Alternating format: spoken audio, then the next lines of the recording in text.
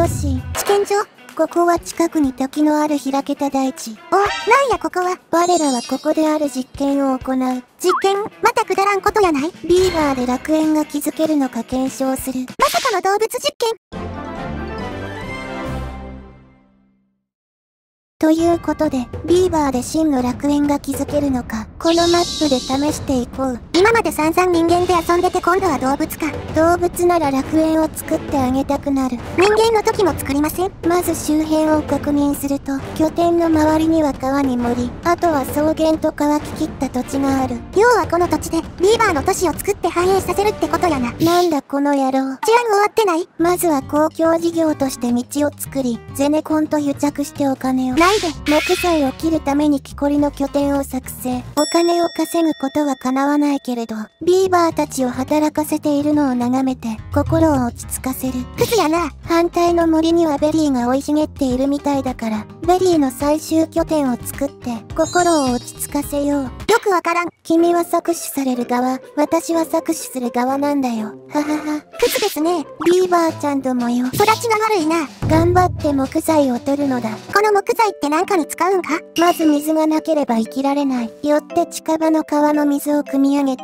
それを飲料水とする。あとは道をつなげれば、ビーバーちゃんどもは率先して立ててくれる。優秀なビーバーやん。可愛いし偉いな。てめえが飲むんだから当たり前だ。急な江戸っ子、もしくは情緒不安定でも確かに働いている姿に癒しを感じる。せやろ？私は、死生者として彼らを導いていかねばならない。だからこそ、彼らを導いていかなければならないと感じた。その構文やめません？少しずつ発展してきた。まだまだ最初の一歩やけどな。あとは希望があれば食料生産施設も作る予定。一番大事なインフラですけどね、それ。だけどこうして半日以上眺めているけれど、彼らからの要望はない。もしかしたら、食料なくても生きていけるように進化したのではないだろうか。それは生き物とは言わんのよ。あとめんどくさいだけですよね。餓死者が出る前にとっとと作るで。あー、ビーバーかわいい。はよ作れや。要望には上がっていないけれど、これから必要になる。何よりビーバーちゃんどものためになる。そう考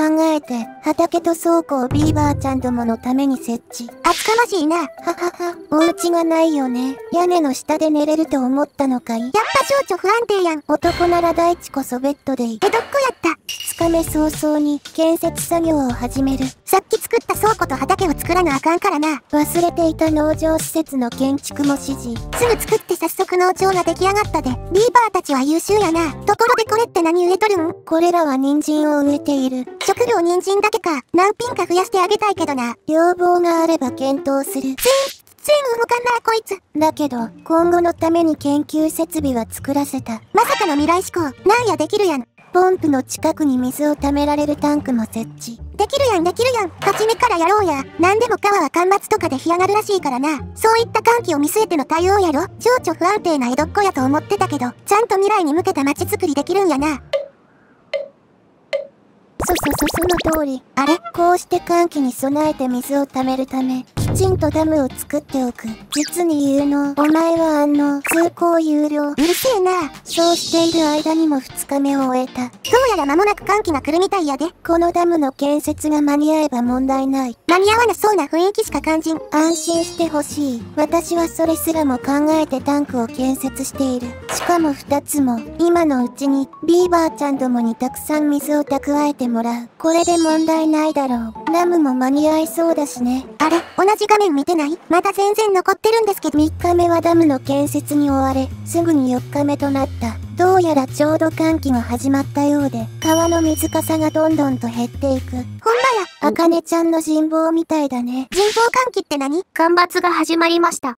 思ってたよりもがっつり干ばつが始まっとる。あ、止まった。私の意向のおかげかな。元となる水源から枯れとるみたいや。ダムもないし厳しいでこれ。私の意向を超えて干ばつが進んでいる。意向関係ないってわかった？しかも水だけやなくて、水が枯れたことで、周辺の草原地帯も枯れ始めとる。したたかない。したたかない。死生者としてきちんと対応する。すでに畑も全滅しとるから、なるべく早く対応してくれ。ビーバーちゃんどもよ。何も飲むな。動物実験やなくて動物虐待やないか。ここここれが自然の摂理。すでに歓喜が始まってしまったため、私に対応できるものはない。どうだ？ほこんな、あかん。溜めてた水も一日でなくなってもうた。これはまずい。どうやらビーバーちゃんどもの様子を見てみると、あかんな。真っ赤や。まずいことになっとる。ビーバーちゃんどもに眉毛はあったのか。そこ？